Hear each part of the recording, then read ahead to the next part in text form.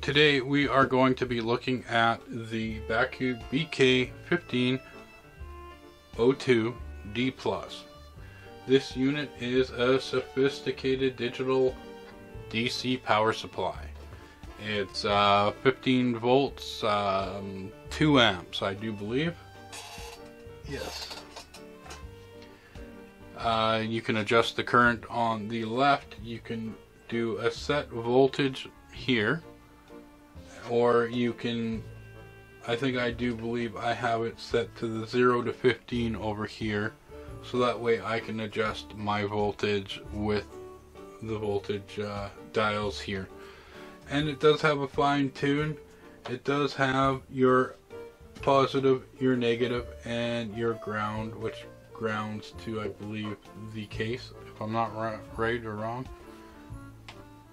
Forget exactly where. I'd have to open it up. Maybe you'll take a look after and uh, you'll kind of see where that, that cable goes eventually. Maybe, who knows. Uh, it's got a nice little display here. It's really bright.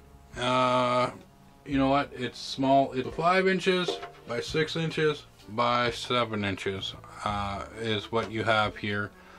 Uh, it's a small unit. It actually looks fairly nice. It does uh, what it says it's going to do but you're well you know what?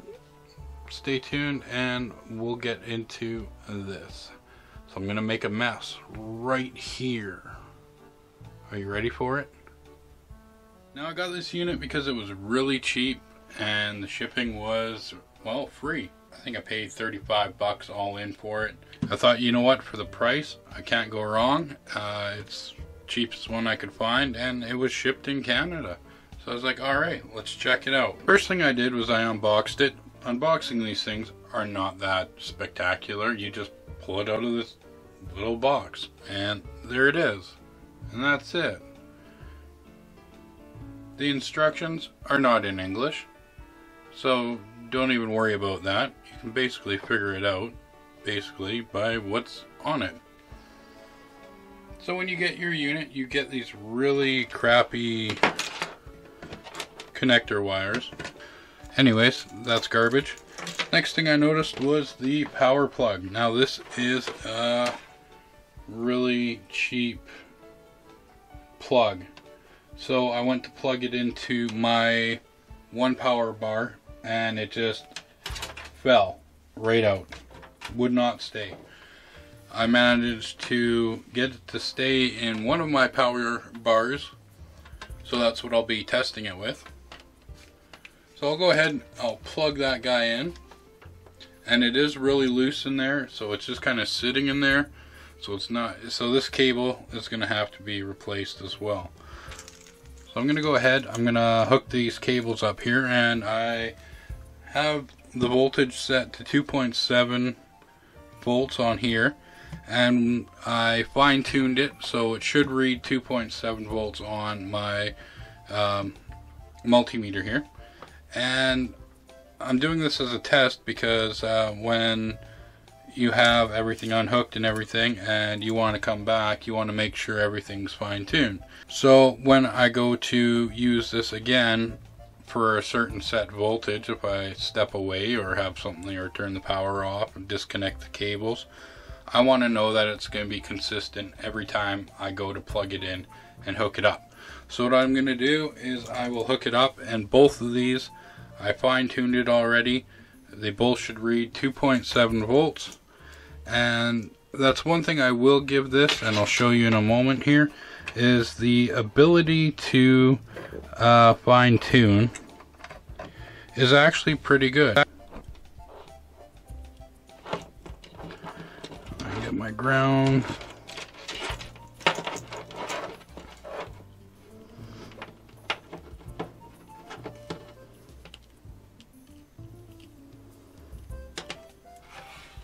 Moment of truth. I'm going to go ahead. I'll just turn on and we'll get the power or the multimeter going here.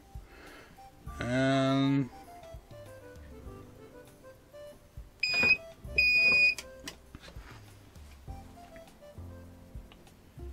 So that's sitting at 2.7 volts.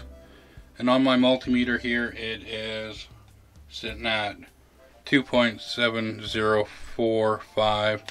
Uh, plugging it in and out, you're to get a certain voltage difference. And you can just take your fine tune and play with that.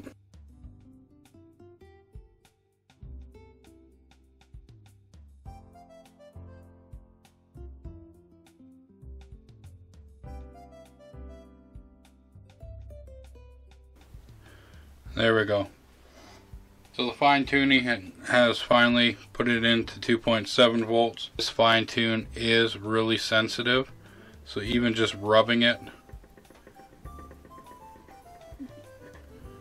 will change values pretty uh, pretty good. That is that guy. Um, yeah, you just have to play with it, fine tune it. It's not bad if you're okay with doing that every time.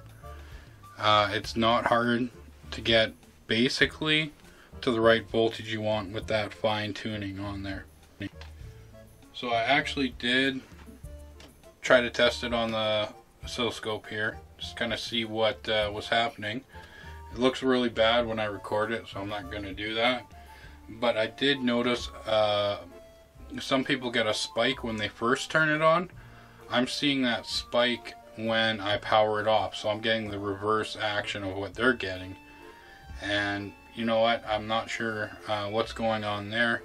I don't even know what's inside this thing yet. So obviously I'm gonna have to open it up. I am going to have to replace this power cable. So there's lots of stuff I'm sure that needs to be taken care of. I know probably the connectors aren't shielded based on everyone's uh, reviews on many different models of these things. They're just slapped together as quickly as possible and that's that. They save money uh, just by buying the cheapest possible cables and components to put it together. That's how they make money. When you go cheap, remember you're gonna have to calibrate. Okay, so before I go ahead and take it apart, I'll just go ahead and I'll I will show you what it does here in the plug. Like it's like it, it's not even I, I don't even think it catches in there. This guy taken apart.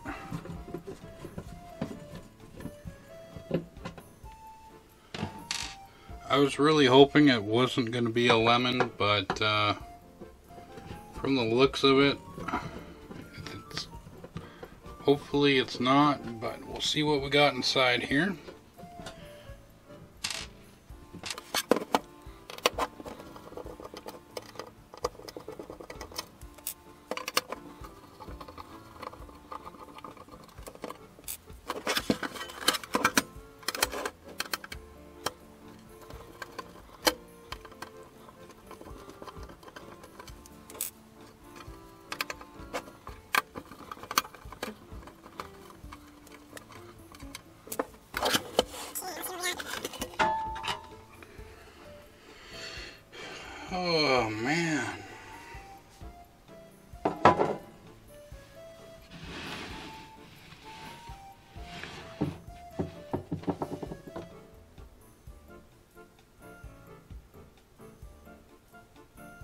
Well, there isn't that much in there, that's for sure.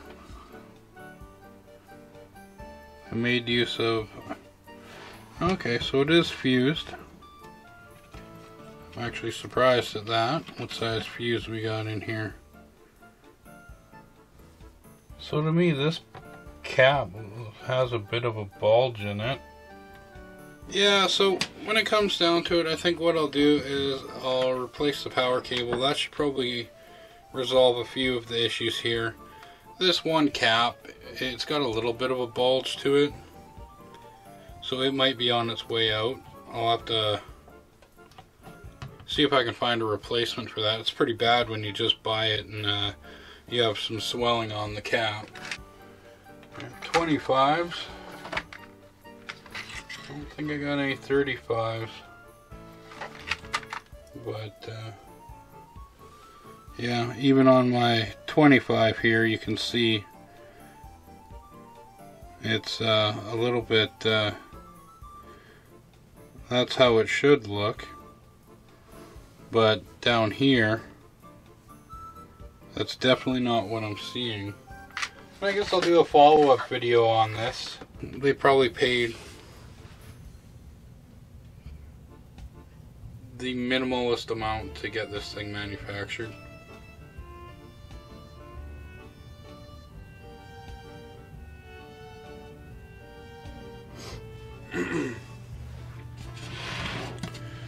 So, anyways.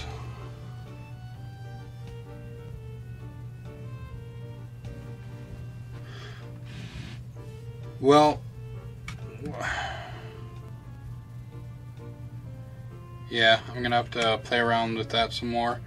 But as is, it's usable. I wouldn't trust the power cord. I would certainly replace that if I was anyone right away. If you get one of these cheap cords, replace it right away because if it's not fitting into your your uh, outlet uh, properly and it's got play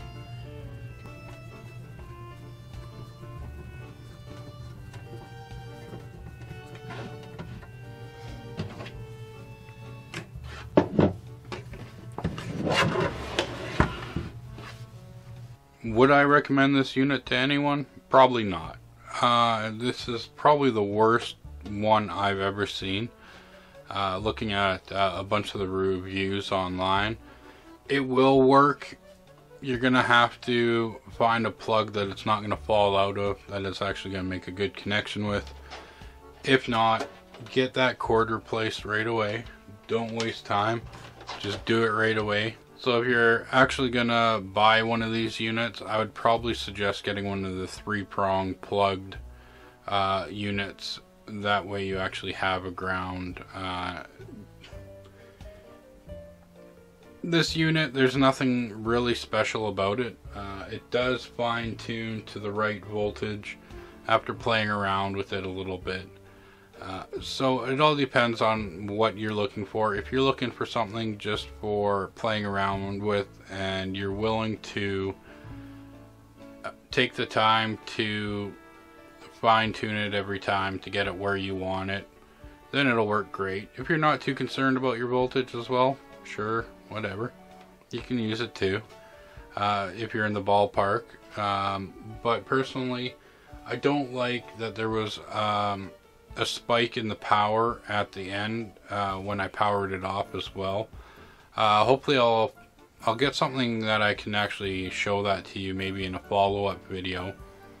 And what I'll do in that follow-up video is I will show you all the stuff that I've changed in here. This is supposed to be a sophisticated digital DC power supply. Uh, it, it's really not. It's no complete complete garbage. Uh, I wish I would have spent the 20 bucks more, gotten the model up, which I probably should have gone for just because it had the three prong plug and usually the higher models for some random reason have a little bit better build quality. So with that being said everyone, thank you for watching. You have a wonderful day, a wonderful week, and you take care, eh?